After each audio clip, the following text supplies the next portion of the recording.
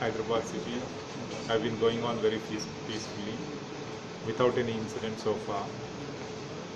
Throughout the city, the festive environment uh, prevails.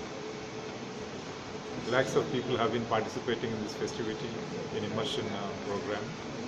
Children, women, or old-aged persons are also participating apart from the young and the um, you know male persons.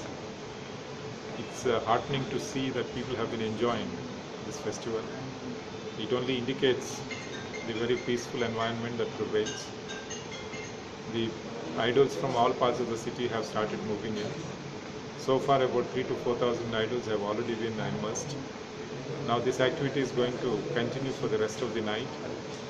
For uh, controlling this entire uh, program, we have established a command control center where we have uh, CCTV cameras all along the procession routes. The entire uh, set of cameras set up along the procession routes are connected to the command control center. We have been able to see the live feeds and um, reorganize our strategies based on the requirements. Wherever forces are required, equipment is required, vehicles are required, we will be able to match up and ensure that the optimal utilization of the resources is made use of.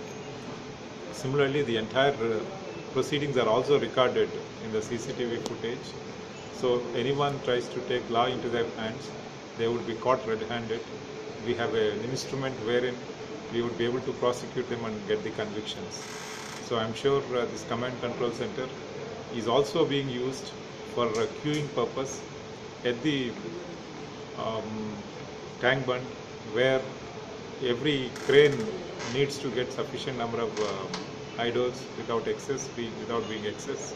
So in order to ensure that no crane is uh, idle, we, we have been using the CCTV camera system which has been put up at um, immersion place covering all the 30 cranes so that uh, this queuing of the vehicles, the lorries, happens very smoothly and no crane is left idle for any moment.